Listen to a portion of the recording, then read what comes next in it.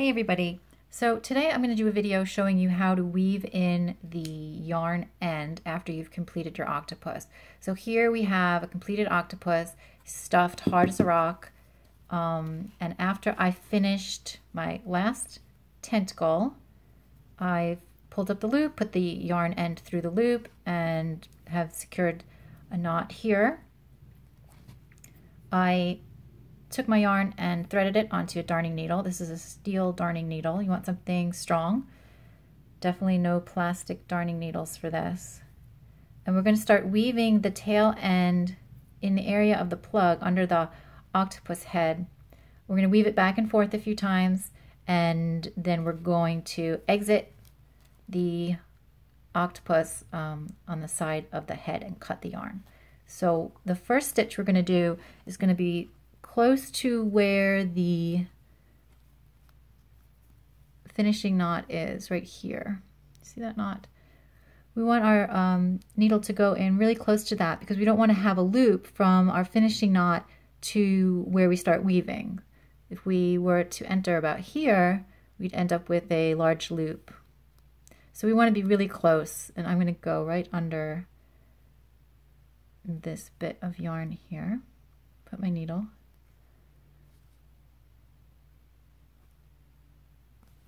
and pull through.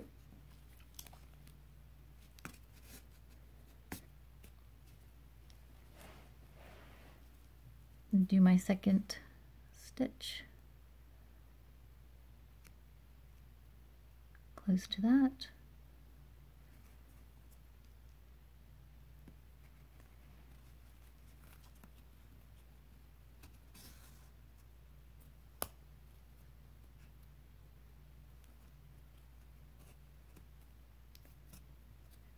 I'm going to change direction. Going over here.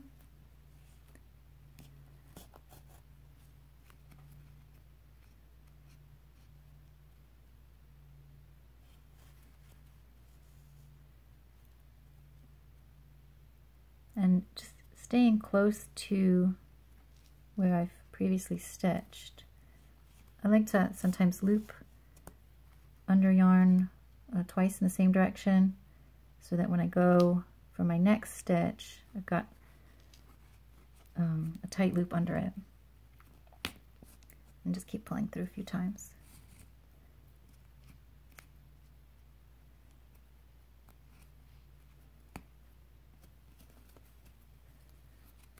Okay, let's change direction and go this way.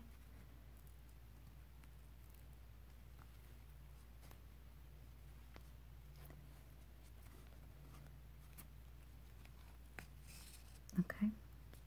And that should do it. Just weave it in three or four times. Then you'll want to go into the octopus head um, through the plug area with the intent of coming back out on the side of the octopus head just above the neck. Um, so you're going to be going in on an angle. If you were to go straight through, you'd have no way of getting your needle out of the octopus head. So go in through the plug area and then out through the side of the head. I'll show you. Um, one thing that's a good tip um, is, well, obviously you want to go in close to where you ended. And I'm angling towards this part of the octopus head. I'm going to push through and I'm going to use my table surface to put to help me push the needle through.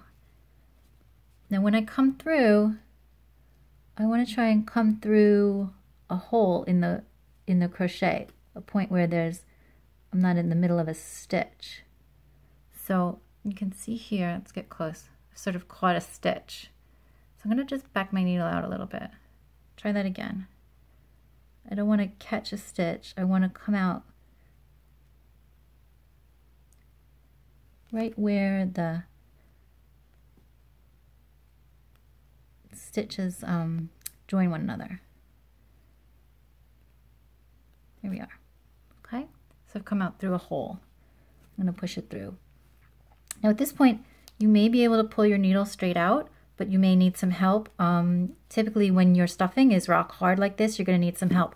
So I use a piece of a jar grip that I've cut and a pair of pliers. Um, I protect my needle by using the jar grip in the uh, pliers. Wrap the jar grip around my needle and then I pull through. So there we go. Okay. So you see where we went in there and we've come out on the side of the head. Okay. And now we pull that very tightly um, and use your scissors to just cut really close to the edge of the head.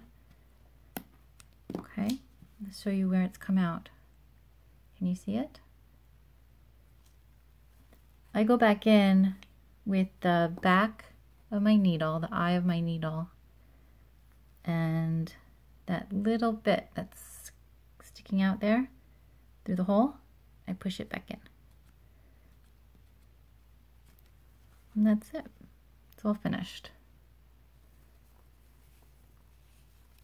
I hope that helps. Thanks for watching.